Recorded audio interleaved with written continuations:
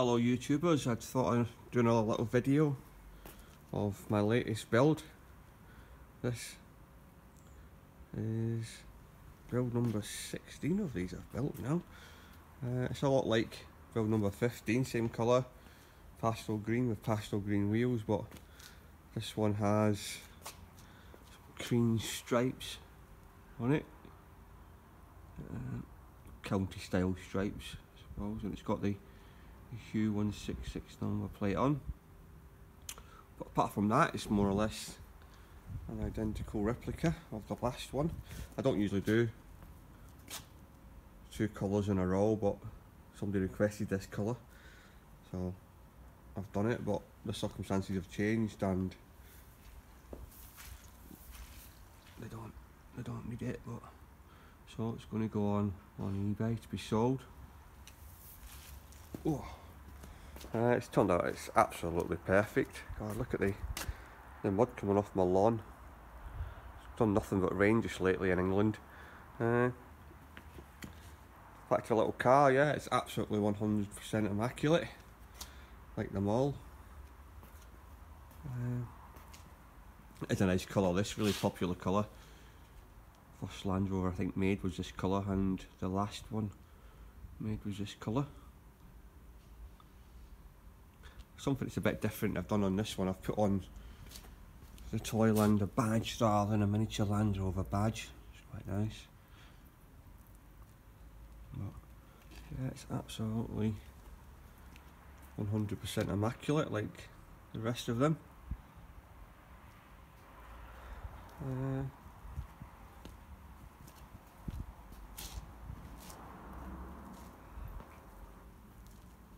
paintwork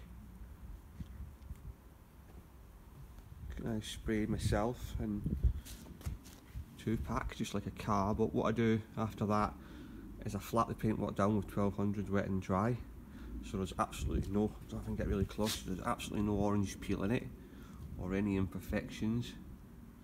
Then what I do is I buff it, machine buff it back up to a gloss finish. Uh, when you spray, just naturally you get you get orange peel. If you look at your car you'll have slight orange peel in it but I, I'm not a fan of orange peel so I flat it out so it's absolutely 100% gone. Uh, obviously Ford and Vauxhall and stuff like that they, they can't they can't do that. They don't have the time to do that so the orange peel's always there on, on production cars but on on show cars show paint finishes that's what they do.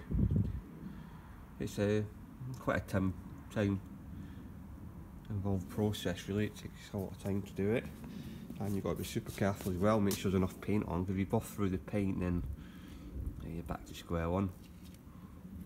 So it's not something for the faint-hearted really, but it, it, does make a difference. Because obviously, the smoother something gets, the shinier it becomes. Seats are the same, and the colour sanded and buffed. So it's just like a mirror really. Too good to sit on really, if I'm honest but it's the same sort of thing as the other one. You you turn the key and you can see the LED coming on, telling you that the battery's full. Horn, headlights. That's your maximum speed controller, so you can you can turn that down. That limits the speed then to about one two miles an hour. All the way around, it's about six miles an hour, which is fast enough for one of these with children driving it that's your headlights button. So it's got headlights and side lights on the back. The tail lights.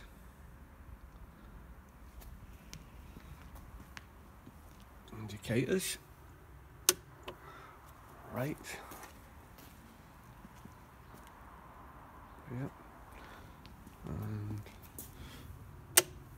left. The LED, they, uh, they don't have a flasher unit, the indicators are just the LED. That'd be the flashing units built in.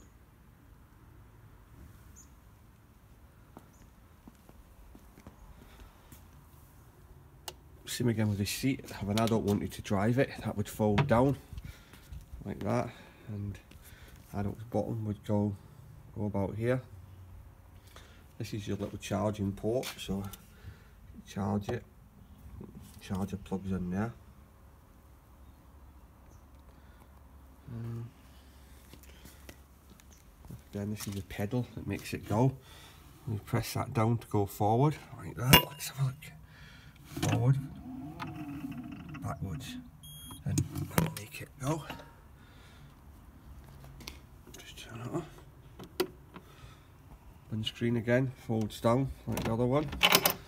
So if you're driving on a hot day, you can uh, get some wind in your face, six mile an hour wind in your face, which is not a lot of wind when you're moving at six miles an hour. That. It's just a beautiful thing. Uh, I don't know if I can show you underneath. I've put it on, on full lock. We can see in there now, you can't really see, but it's got all little tiny rose, joint suspension, uh, steering, single swing arm suspension on the front. Yeah, they're just a lovely thing. I take pride in every every one of my builds. Make sure they're absolutely 100% perfect. Um, it's going on at eBay. This it'll be the starting bid is 2,995. So see how it gets. That's what they usually go for. I'm honest. Um, you can get cheaper so-called Toylanders on eBay than that, but obviously they're not up to show standard like this. This is absolutely it's 100% perfect. I don't know if you can see underneath, but on the underneath, what I do is I paint them all um, with Schultz chassis black, so they're all waterproofed underneath. Not like you, you to leave one of these outside in the rain, I don't think anyway, but it's just handy to have it weather sealed. Well, like that. Screw it down.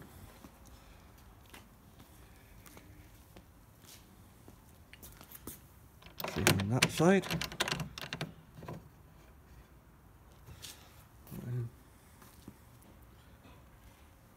Oh, starting to rain a little bit, I think, again.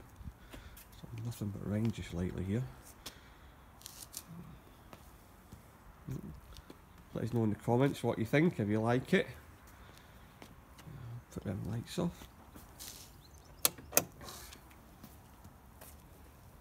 One thing that's a bit different on this one is on the other one I usually put the dummy vents on but on this one it's got, I don't know if you can see it's got the dummy vents routed in.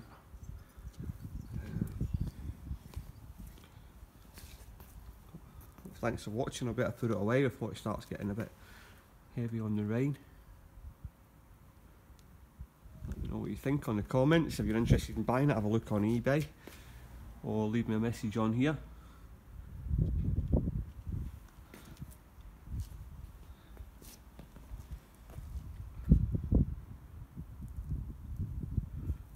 Thanks for watching.